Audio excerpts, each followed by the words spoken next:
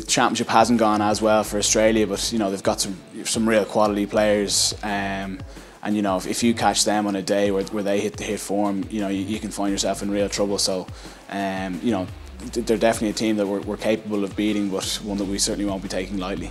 I think even since the defeat to the Lions, you know, I think they've developed even even more. You know, they were obviously a top top quality side then, and during the championship, I think they've, they've stepped it up another gear. You know, and they've they've a number of, of world class players there that are that are going to pose another another threat to us. I think they've got some unbelievable players, um, especially in their back line. Um, really skillful players. Quade Cooper, he's a very good player. Israel Folau on the wing, he's a pretty good player, big guy, strong, fast, quick, good in the air. Um, you know, I think he's definitely one to look out for. You just have to look at their team and, and they've a lot of serious quality there. Um, really good individuals there. Um, and we know exactly exactly how tough it will be against them, you know.